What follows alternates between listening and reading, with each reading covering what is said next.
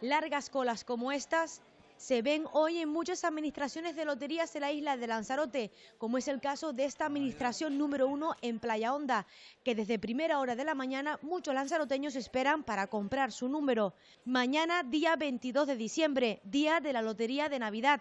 Será un día muy especial para aquellos que les llegue la suerte, que incluso hay algunos que piensan que su número ya está premiado. Ya está premiado, está premiada. ¿Cuántos números has vendido este año? Muchísimo. Muchísimo, muchísimo. No sabemos ni la cantidad que hemos vendido. ¿Y cuál ha sido el número más, más vendido? Eh, no tenemos un cálculo porque hemos vendido de todo. La verdad que lo primero que se ha agotado ha sido el 5 y el 7, pero vender hemos vendido de todo porque ya no nos queda apenas nada.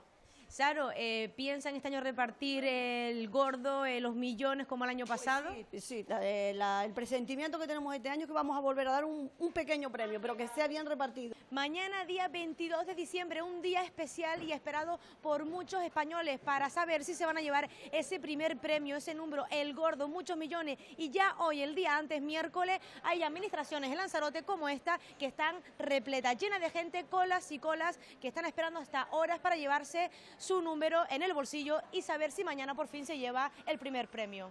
Además, hay muchos lanzaroteños que van buscando su número favorito y otros que apenas saben cuál elegir.